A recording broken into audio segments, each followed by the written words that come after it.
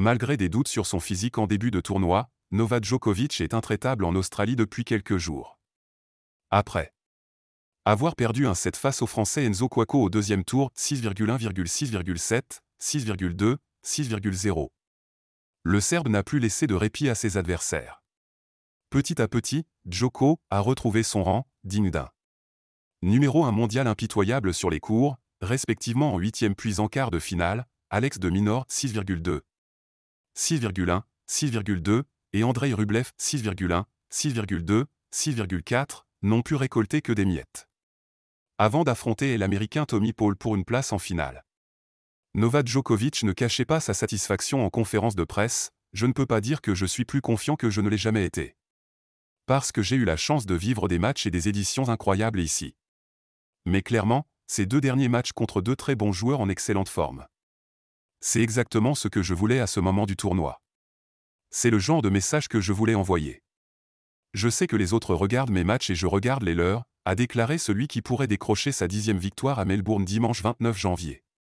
Nop, Novak Djokovic Cano Open 2023 pic.twitter.com Un Vetad pour le Serbe, afficher un tel niveau dans le tournoi est un beau pied de nez à son dernier passage en Australie. Un an en arrière, Noll n'avait tout simplement pas pu défendre ses chances à Melbourne. En raison de son visa refoulé et des polémiques vie à vie du vaccin contre le Covid-19. Je suis si heureux de retrouver ce cours. Si je devais choisir des conditions de jeu idéales, ce serait en nocturne sur ce Rod Lavé Arena. Sans la moindre hésitation, a signifié l'ancien paria. Au passage, Djokovic s'est montré bien heureux de voir le public australien, réputé pour être bouillant lui réserver un bel accueil depuis son retour. Ce qui ne l'a pas empêché, au deuxième tour, de s'en prendre directement à un spectateur. Visiblement trop bruyant à son goût. Dans sa quête de rédemption, Djokovic aspire à rester imperturbable sur les cours. L'année 2022 a été faite de haut. Avec les succès à Wimbledon et au Master, mais aussi de bas pour le joueur de 35 ans. Si les portes se sont fermées une première fois en Australie. L'Open, en septembre dernier, l'a également repoussé en raison de son statut vaccinal. Incapable de défendre ses chances pendant deux tournois du Grand Chelem blessant son rival Nadal. Puis la relève Carlos Alcaraz prendre la lumière, Novak Djokovic a dû prendre son mal en patience.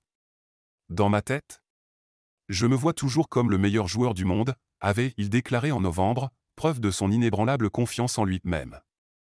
En quête d'un 22e sacre Grand Chelem, avec la perspective de rattraper Rafael Nadal, le Serbe sait à quel point il joue gros à Melbourne. En cas de victoire, il pourrait récupérer le fauteuil de numéro 1 mondial à Carlos Alcaraz, un statut qu'il a honoré pendant 373 semaines. Un record absolu.